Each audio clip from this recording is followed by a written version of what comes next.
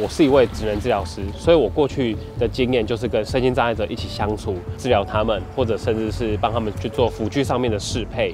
我希望是透过我对于辅具的专业，让他能够在水里面悠游自在这样子。我最喜欢的运动就是去玩自由潜水这件事情。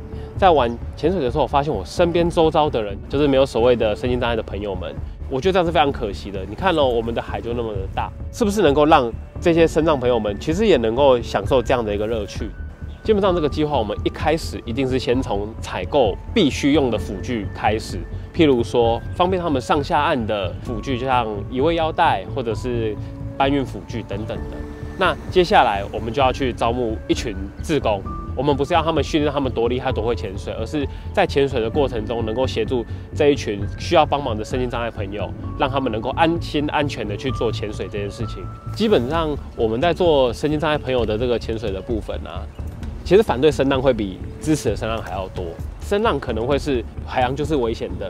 哦，就是你把它带出去，你可能出事了怎么办？等等的，对。但殊不知，其实我们第一个要考量的不是你有多厉害，而是你有多安全。如果今天我们的声浪朋友们，他们有一个可以让他很安心的潜伴在他旁边，跟他一起潜水的话，这其实对他们来讲就是一个很安全的运动了。就是我们就打破那个刻板印象。毕竟我是个比较就是敢去尝试的人呐，所以其实我考教练的时候。就是为了这件事情，想说我要有教练的执照，我才能带他们下海啊。所以我的第一个学生其实不是直立人，就是身心障碍朋友这样。我们全盲的那一位学生，他来我们这边参加体验之后，他就很想要继续往下上。然后上课完之后，他就我就问他，真的只是随口问他，你要不要成为台湾第一个？身心障碍者去比那个潜水比赛的选手，他就说：“哎，好啊，他就来比了。”所以我们就一起去参与了二零二二年的那个泳池赛的部分。做完之后拿到了白牌的部分，那白牌就是对于他的人生的一个肯定。我们一起拍照留念的时候跟我说，觉得我们身障者真的可以做这个运动，你也可以帮助我们，就是其他的身障朋友们未来有没有机会一起来比赛，甚至一起出去玩这样子。